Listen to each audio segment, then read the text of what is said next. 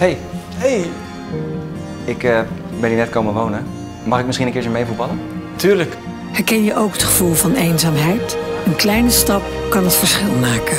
Bekijk wat jij kan doen op 1tegeneenzaamheid.nl